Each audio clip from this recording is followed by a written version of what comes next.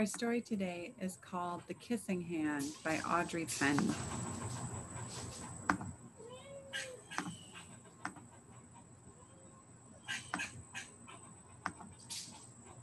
Chester Raccoon stood at the edge of the forest and cried. I don't want to go to school, he told his mother. I want to stay home with you. I want to play with my friends and play with my toys and read my books and swing on my swing. Please, may I stay home with you?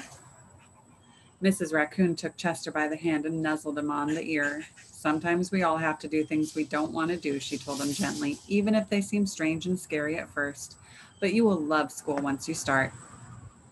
You'll make new friends and play with new toys read new books, and swing on new swings. Besides, she added, I know a wonderful secret that will make your nights at school seem as warm and cozy as your days at home. Chester wiped away his tears and looked interested. A secret? What kind of secret?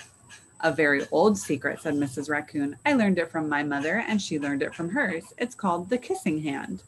The kissing hand? asked Chester. What's that?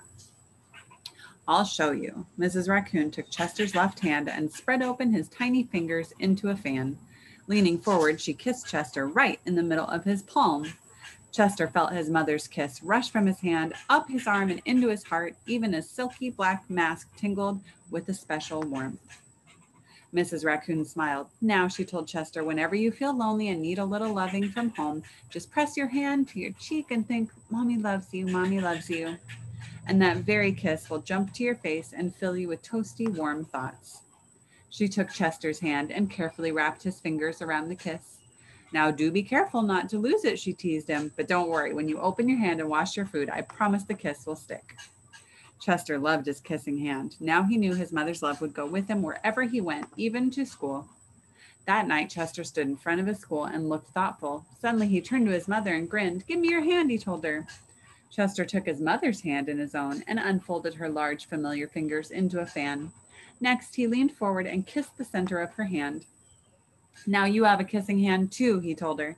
And with a gentle goodbye and I love you, Chester turned and danced away. Mrs. Raccoon watched Chester scamper across a tree limb and enter school.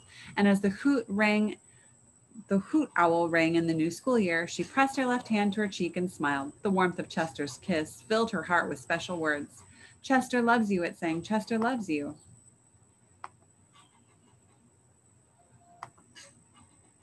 I love you.